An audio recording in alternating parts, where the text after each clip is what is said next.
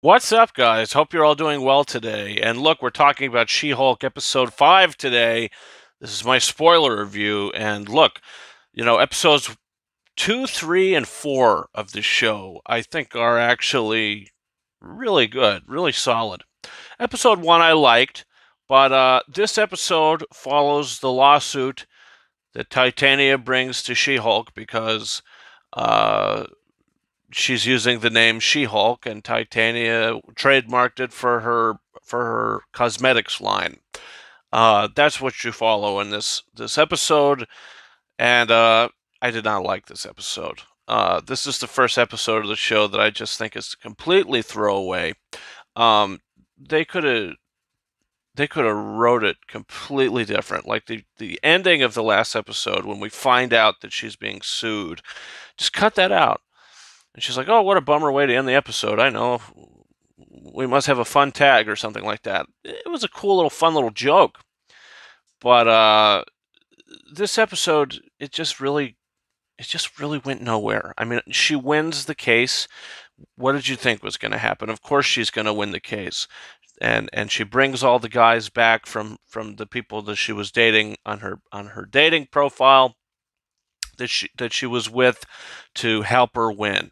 Um, it's it's okay. It's it's a little silly. It's a little goofy, and it's it's just a little uh, underwhelming. I mean, there's only one episode of the show left now, and uh, it it really just uh, this one was kind of a bummer. I thought they were gonna give us Daredevil in this episode, and not just shoehorn him into the final episode. Um, which it seems like now they're going to do. I hope that the last episode is going to be at least like 40 minutes long. Hopefully, it's not just another 30 minute episode. Because, I mean, if you're going to bring Daredevil into this, you know, and and finish the show in whatever way you're going to finish it, uh, I don't know. I just feel like it doesn't feel rushed. Um, you know, we see how she she gets her her new new costume, her new suit, her new work suit, and the other suit that we see her wearing in, in some promotional material. It's like purple and white or something like that. I believe that's going to be the second suit that the guy gave her, um, which, you know, uh, it's cool. We get to see where she got it from, but she could have she could have got it from anywhere, and I just think it was kind of ridiculous how we, we go to the boba shop okay, we go behind the scenes, we we want these special shoes or whatever. I don't know. It was just like it was just like one pointless thing after the other just to get her name cleared in a way, you know, so she she's not bothered by Titania anymore. And look, from from when we see her at the end of the first episode, you think, oh, well, maybe this will come back. Maybe maybe this will go somewhere.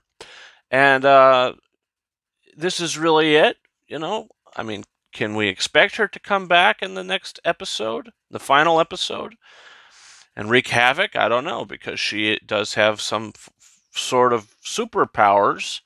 So I don't know. Uh, I don't know. We'll see. But uh, I'm, I'm looking forward to the finale.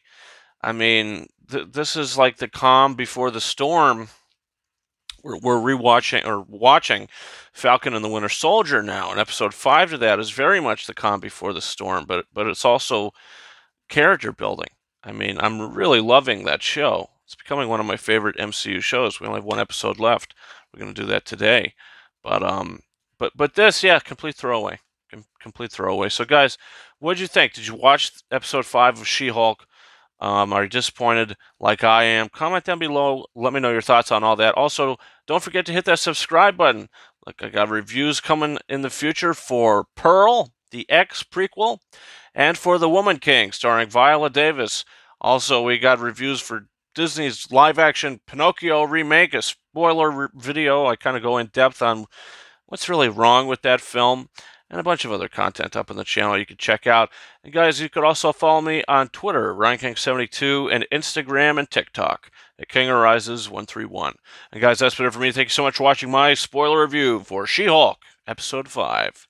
And until next time, over and out.